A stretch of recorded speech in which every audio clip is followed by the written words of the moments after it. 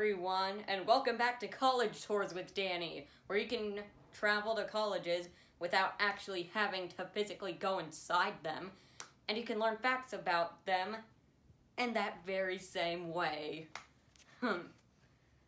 Well, the college destination for this edition would be USC, the University of Southern California, and definitely not the University of South Carolina. Oh no! Whatever. Well, first fact for this one at least one USC Trojan played in all but five Super Bowls. Yeah. Hmm.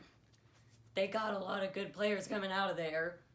Two, a USC physics professor was responsible for the invention of color TV. Ha! Without them, TV would not have the color. And I really love the color. I need the color. Number three, the Trojan Marching Band has two platinum records. You heard me too.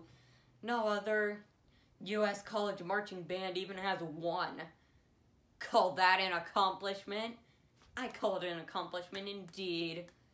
Number four, a USC alum has been nominated for an Oscar ever since the Academy Awards were even created in the year of 1929. Uh, hey, they're in LA. It's actually not that much of a surprise.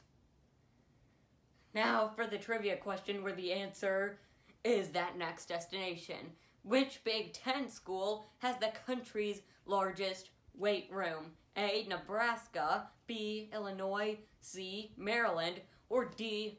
Iowa? Whatever the answer is, I bet they're pretty buff. Thanks for watching, and I hope to see you at the next college destination next Monday.